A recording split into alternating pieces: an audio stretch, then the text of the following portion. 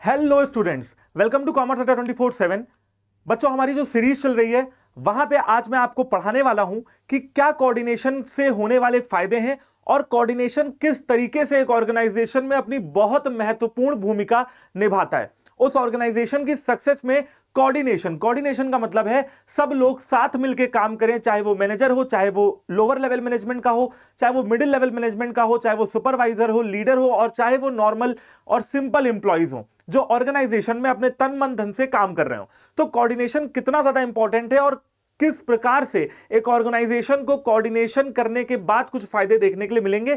आज अपने टॉपिक में हम यही कवर करने वाले हैं। तो आइए शुरू करते हैं और सबसे पहले आज हम जानने की कोशिश करते हैं डायग्राम की मदद से कि कोऑर्डिनेशन बेसिकली होता क्या है। तो बच्चों आप देख रहे होंगे कि सारे रास्ते आ, भाई जैसे कि वो है ना कहते हैं ना कि सारी नदियाँ मिलकर कहाँ चली जाती हैं? समुद्र में चली जाती हैं। तो बेटा नदियाँ क्या है? अलग अलग इंप्लॉइज और समुद्र क्या है?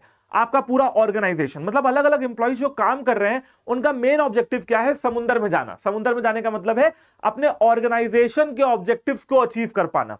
तो आप यहाँ पे देखिए बेटा, कोई इंप्लॉय यहाँ है, कोई यहाँ है, कोई यहाँ है मतलब अलग अलग रास्तों पे है, लेकिन सबकी मंजिल क्या है? सबकी मंजिल है बीच में, जो कि है आपका ऑर्गेनाइजेशन का ऑब्जेक्टिव तो कोऑर्डिनेशन में हम बेसिकली क्या करते हैं? हम अपनी एक्टिविटीज़ को कोऑर्डिनेट करते हैं। हम साथ ही हाथ बढ़ाना, सबका साथ, सबका विकास, सबका, सबके विश्वास के धारणा पे चलते हैं कि सब लोग काम करें और ऑर्गेनाइजेशन को फ़ायदा मिले ऑर्गेनाइजेशन के ऑब्जेक्टिव अचीव हो पाए।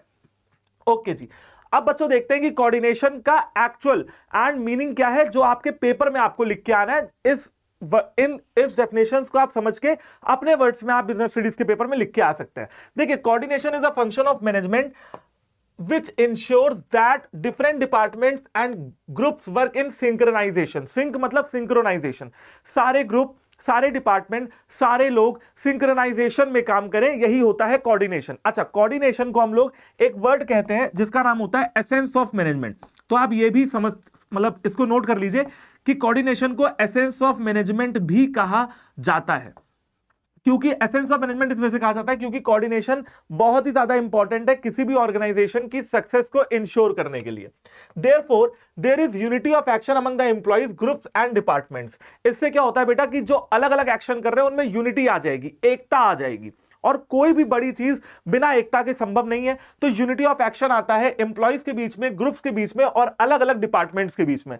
जैसे फ़र्ज़ कीजिए बेटा कि टाटा कंपनी और टाटा मोटर्स इनकी एक ब्रांच है एक ऐसी कंपनी है जो गाड़ियाँ बनाती है। तो गाड़ी को बनने के लिए प्रोडक्शन डिपार्टमेंट भी होगा गाड़ी को बेचने के लिए मार्केटिंग डिपार्टमेंट भी होगा गाड़ी को आ, बेचने के लिए सेल डिपार्टमेंट एडवर्टीजमेंट करने के लिए मार्केटिंग डिपार्टमेंट और ऐसे बहुत सारे डिपार्टमेंट्स होंगे है ना? तो बेटा हमें क्या करना है? हमें अलग अलग डिपार्टमेंट्स के एम्प्लॉयज़ को, उनके ग्रुप्स को, के एक्शन को यूनिटी में लेके आना है। यूनिटी ऑफ़ एक्शन इंश्योर करना है। It also bring harmony in carrying out the different task and activities to achieve the organisation objective और बच्चों, एक बात और हारमोनी होनी चाहिए। हारमोनी का मतलब होता है कि खुशी खुशी काम करें। ऐसा ना हो कि काम कर रहे हैं, लेकिन चेहरे पे मुस्कान ना हो। तो चेहरे पे मुस्कान के साथ काम करें, खुश रहें। और एकता में रहें। तो हारमोनी इंश्योर करनी है ताकि वो डिफरेंट डिफरेंट टास्क को कैरी आउट कर सके और ऑर्गेनाइजेशन के ऑब्जेक्टिव्स को डेफिनेटली अचीव कर सके। Coordination is an important aspect of any group effort when an individual is working, there is no need for coordination. जब एक अकेला इंसान काम कर रहा हो तो कोऑर्डिनेशन की ज़रूरत नहीं पड़ती है। जैसे बेटा एक कहानी को लिखने वाला राइटर आप दस राइटर मिलकर एक कहानी को नहीं लिख सकते हैं। एक कहानी को लिखने के लिए एक ही राइटर काफ़ी है। तो वहाँ पे बेटा कोऑर्डिनेशन की ज़रूरत नहीं है, लेकिन जहाँ पे एक या एक से ज़्यादा लोग लगते हैं, वहाँ पे कोऑर्डिनेशन बहुत ज़्यादा ज़रूरी है। ये आपने अपने घर में देखा होगा कि घर में रहने वाले सारे लोग हैं, सारे मेंबर्स ऑफ़ फैमिली हैं और सारे कोऑर्डिनेशन में काम करते हैं, एक दूसरे से विपरीत काम नहीं करते हैं। ओके जी। और अब बेटा हमें यह देखना है कि किस प्रकार से, जो हमारा आज का टॉपिक था, कि कोऑर्डिनेशन किस प्रकार से एक ऑर्गेनाइजेशन को फ़ायदा दिलाएगा, क्या बेनिफिट्स होने वाले हैं कोऑर्डिनेशन के। तो सबसे पहला इनकरेज टीम स्पिरिट अगर आप कोऑर्डिनेशन करके चलेंगे ना तो टीम स्पिरिट बनी रहेगी। जैसे बेटा क्रिकेट की टीम को देखिए, है ना? भाई 11 खिलाड़ी होते हैं 11 प्लेयर्स होते हैं और सारे के सारे टीम स्पिरिट में रहते हैं। अगर विराट कोहली ने आज सेंचुरी नहीं बनाई तो क्या बाकी के प्लेयर्स अपना काम नहीं करेंगे? करेंगे। तो बेटा, अगर किसी की तबीयत खराब हो गई, कोई छुट्टी पे है, किसी के घर में शादी है, कोई होली, दिवाली, कुछ भी जो है चल रहा है तो बेटा, क्या बाकी के एम्प्लॉयज़ काम नहीं करेंगे? बिल्कुल करेंगे तो इसका मतलब ये होता है कि इनकी टीम स्पिरिट इनकरेज होती है जब हम कोऑर्डिनेट करके चलते हैं लोगों से। ओके जी गिव प्रॉपर डायरेक्शन काम को प्रॉपर डायरेक्शन मिल पाती है। काम अच्छे से कर पाते हैं लोग जब कोऑर्डिनेशन में रहते हैं। अगर ऐसा नहीं होगा तो भाई, सब लोग अपना अपने काम में बिज़ी रहेंगे और ऑर्गेनाइजेशन के ऑब्जेक्टिव अचीव नहीं हो पाएँगे। फैसिलिटेट मोटिवेशन अगर हम कोऑर्डिनेटेड रहते हैं तो मोटिवेशन भी अंदर से आती है। देखिए, क्या होगा, मान लीजिए कि तीन चार लोग हैं और वो किसी एक पर्टिकुलर प्रोजेक्ट पे काम कर रहे हैं। अब अगर एक एक बंदा बहुत मेहनत से काम कर रहा है तो बाकी के लोगों को भी उसको देख के मोटिवेशन मिलनी चाहिए कि अरे यार, वो अच्छा काम कर रहा है, मुझे उसके जैसा बनना है। ठीक है? Makes optimum utilisation of resources यहाँ पे रिसोर्सेज के ऑप्टिमम यूटिलाइजेशन की बात हो रही है कि अरे भैया ऐसा कोऑर्डिनेशन करो जहाँ पे आ, बिल्कुल भी रिसोर्सेज का वेस्टेज ना हो रिसोर्सेज ऑप्टिमली यूटिलाइज हो सके। Okay okay ji help to achieve objective quickly अच्छा क्या होगा बेटा जब एक काम को ज़्यादा लोग करेंगे ना तो ऑब्जेक्टिव जल्दी अचीव हो पाएँगे।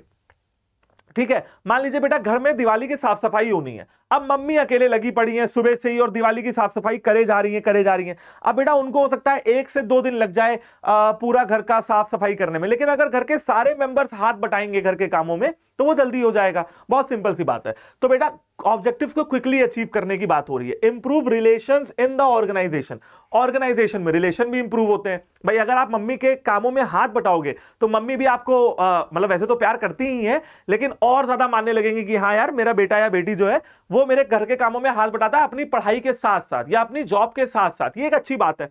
Okay ji. Leads to higher efficiency and उससे क्या होगा? सबकी एफिशिएंसी भी बढ़ेगी। तो ऑर्गेनाइजेशन में अगर कोऑर्डिनेशन रहेगा तो सभी की एफिशिएंसी भी इंक्रीज होती रहेगी एंड अगर ऑब्जेक्टिव्स टाइमली अचीव होते रहे, अगर टारगेट्स टाइमली अचीव होते रहे, अगर काम स्टैंडर्ड के हिसाब से होता रहे तो ऑर्गेनाइजेशन मार्केट में अच्छा करेगी और ऑर्गेनाइजेशन मार्केट में अच्छा करेगी तो डेफिनेटली ऑर्गेनाइजेशन की गुडविल भी इंप्रूव होगी। तो बच्चों, आज के टॉपिक से आपको बिल्कुल ये समझ में आ गया होगा कि कोऑर्डिनेशन क्या होता है कोऑर्डिनेशन किस तरीके से इंपॉर्टेंट होता है, कितना इंपॉर्टेंट होता है एक ऑर्गेनाइजेशन की सक्सेस के लिए। आगे की वीडियोस के लिए बेटा ऐसे ही जुड़े रहिए। चैनल में अगर नए हैं तो सब्सक्राइब ज़रूर करिएगा commerce Adda twenty four seven को and do share the video and do like the video tata good bye all the best जय हिंद।